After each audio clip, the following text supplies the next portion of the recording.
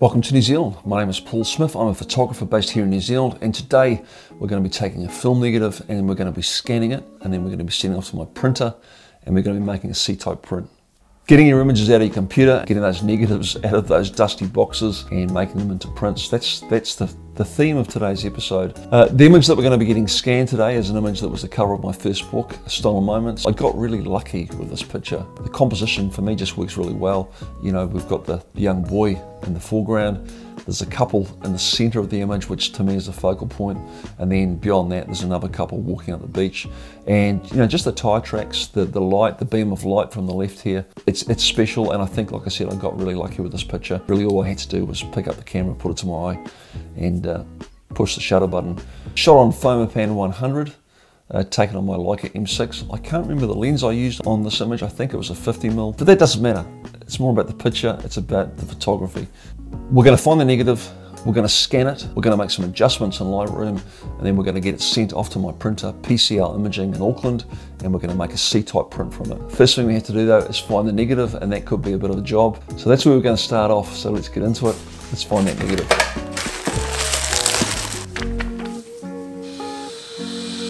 One of the things I haven't got is a light box. No light box and searching through these negatives can be um, hard work.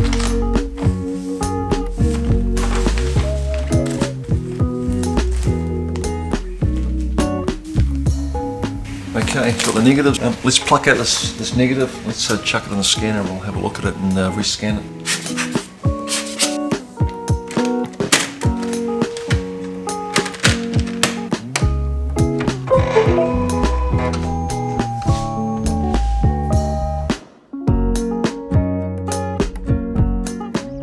So we've done the scan, brought this into Lightroom, and I'll just quickly um, show you what, what edits I've made, made to this. Most of my editing is done in this area here, highlights, shadows, the whites and the blacks. And again, I've tried to keep it as close to the original file as possible. I don't want to do too much. I just brought the foreground up a bit here.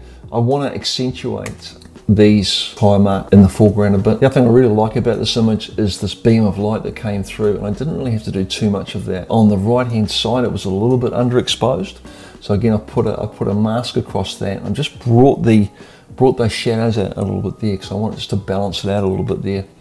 Um, and really the only other thing I've done here with this masking is I've just I've just put a radial mask around what I think is the central focal point of this image, which is the, the couple that are walking up the beach there put uh, brought up the exposure a little bit, put some clarity on. I just want that to be the focal point of the image so it draws your, your eye into that. And I just love the way everything just balances out in this picture.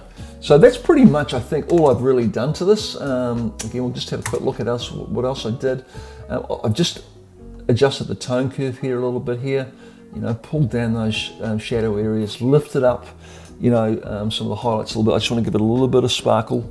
So I've done some sharpening here, and um, I don't think I put a vignette on there. There's no vignetting or anything. So pretty much it was really a case of just just tweaking that image up and just getting, you know, you can see how good the negative is. Okay, so that's that's pretty much all I've done to the image and it's ready to go now. That's ready to go to print. Um, I've cleaned it up. I've, I've, just got that looking really contrasty. It's just a matter now of exporting that uh, that image and then dropping it into the uh, the printer software, online software, and sending it off to them to get printed. I'm excited about this one because like I've said, this is possibly one of my favorite images that I have taken. So I'm really looking forward to getting this back as a print. So let's send that off and um, wait a couple of days to get the prints back.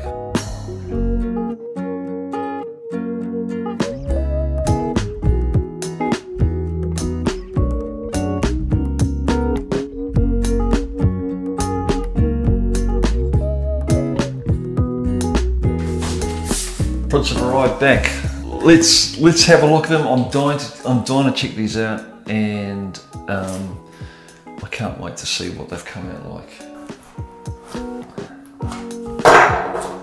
Here we go. Here goes nothing.